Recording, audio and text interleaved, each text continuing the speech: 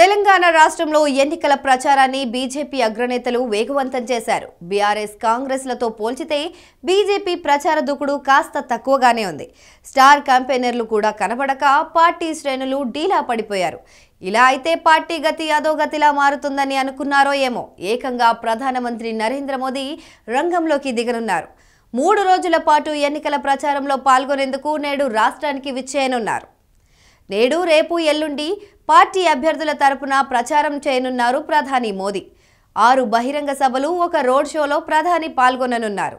అనంతరం నాలుగు గంటల పదిహేను నిమిషాలకు రంగారెడ్డి జిల్లా మహేశ్వరం పరిధిలో జరగనున్న తుక్కుగూడ బహిరంగ సభలో పాల్గొంటారు. తర్వాత ఏడు గంటల ముప్పై ఐదు నిమిషాలకు బేగంపేట్ విమానాశ్రయానికి చేరుకొని అక్కడి నుంచి రోడ్డు మార్గాన రాజ్భవన్కు వెళ్తారు.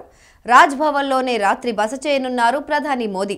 రేపు ఉదయం పదకొండు గంటల ముప్పై నిమిషాలకు కన్హా శాంతివనంలో జరిగే ఒక కార్యక్రమంలో పాల్గొని అక్కడి నుంచి నేరుగా రెండు గంటల పదిహేను నిమిషాలకు తూప్రాన్లో పబ్లిక్ మీటింగ్లో పాల్గొంటారు.